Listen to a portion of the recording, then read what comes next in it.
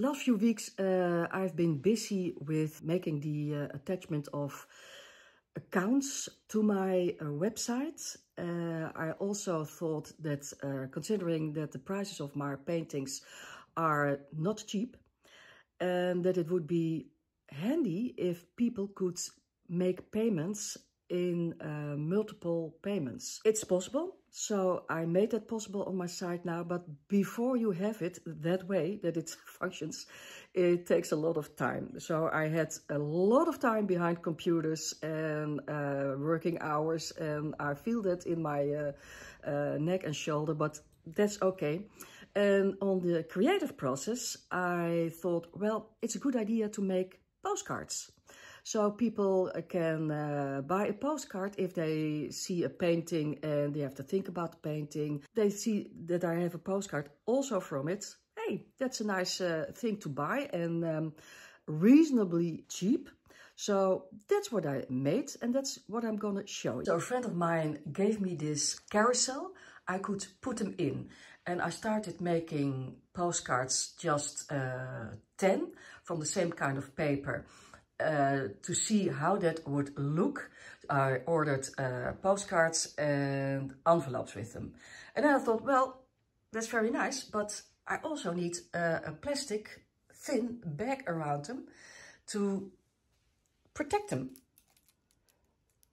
And then I did another order last week and I changed the paper. So I have postcards on three kinds of papers.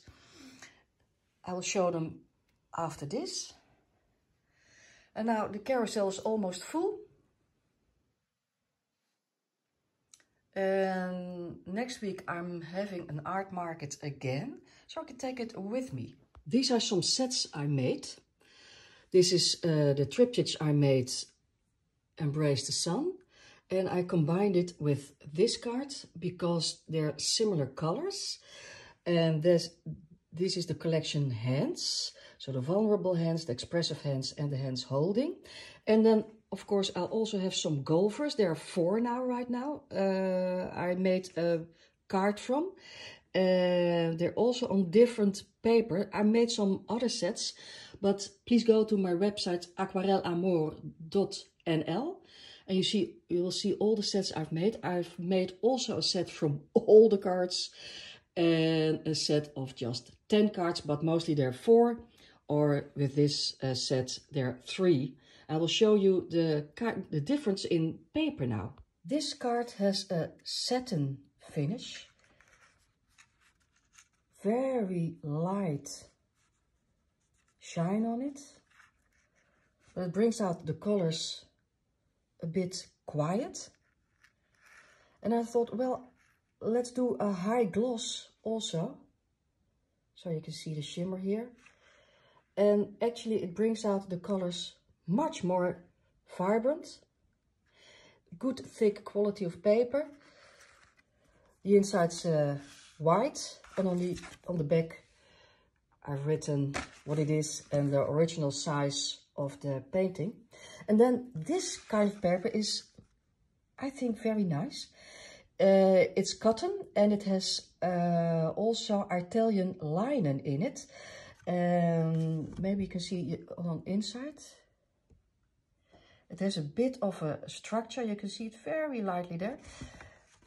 But it also brings out this kind of things I put on the painting which is a shimmering paint. And when you feel it, it has a very luxury feel about it because it reminds you very much of a real painting on a canvas. So those are the three different kind of papers. The other thing I did last week was preparing canvases. This one I bought in a, a second-hand uh, shop or uh, as we say a kringloopwinkel. Uh, and you can put uh, the watercolor ground on top of it. It needs another layer. And this one, I put a canvas over it myself. And that canvas I also have to put on uh, the watercolor ground. So both need another layer. But this stuff is uh, well, kind of expensive if you have to use it in a big quantity like that. And of course, there's a solution also for it. So I bought two uh, containers which I have to uh, mix and make my own watercolor ground.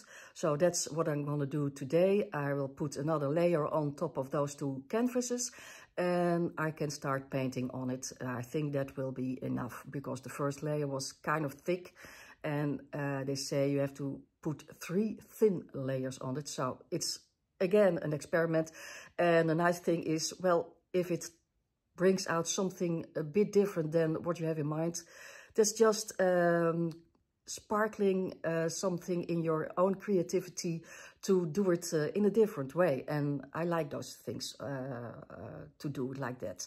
Um, this week I had contact with two people who are managing uh, spaces for expositions. So my first exposition exposition will be in a golf club not far from me. And that will start, I think, in September. And then the other one is uh, November next year. And I'm grateful that it is uh, just November because uh, I need a lot of uh, lot of uh, paintings, so I have some time to prepare, and that's uh, that's very nice. Well, um, this week is more about uh, getting my stuff together for the art market next Saturday. And of course, working on my website. It's reachable, aquarelamore.nl. Uh, the only thing I have to fix, and I'm still working on it, is the homepage when it's in mobile version. So if you're looking this on your mobile and you'll go to my website, you will see the problem. And I'm working on it, and some somehow it will, uh, it will, uh, I will get past it. So that's um, the thing I'm gonna do this week, and I hope a lot of painting again.